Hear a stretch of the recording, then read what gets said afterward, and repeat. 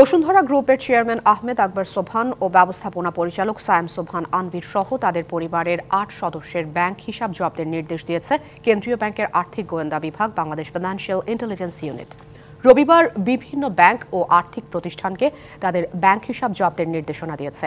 Bank হিসাব জব্দের তালিকায় থাকা অন্যান্যরা হলেন আহমেদ আকবর সোফানের চার ছেলে সাদাত সোফান সফিয়াত সোফান সায়েম সোফান আনবির ও সাফওয়ান সোফান এবং তিন পুত্রবধূ সোনিয়া ফেরদৌসি সোফান সাবরিনা সোফান ও ইয়াশা সোফান পাশাপাশি আওয়ামী লীগের যুগ্ম সাধারণ সম্পাদক ও সাবেক সংসদ সদস্য মাহবুবুল আলম হানিফের ব্যাংক হিসাব জব্দ করা হয়েছে।